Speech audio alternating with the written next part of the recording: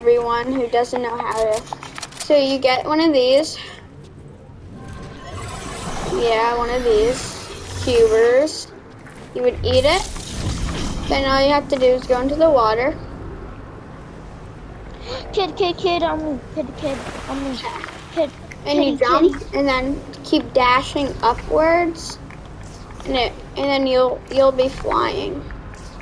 Wait. If you want a boost you could go in here. Go up, up, up, up.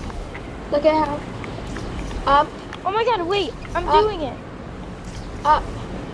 Keep dashing upwards. And you can fly for like until it runs out. And when it runs out, let's see if you have fall damage. Nope. When you run out, you can just go down. Dear glider. Thanks for watching today's video. Hope it helped.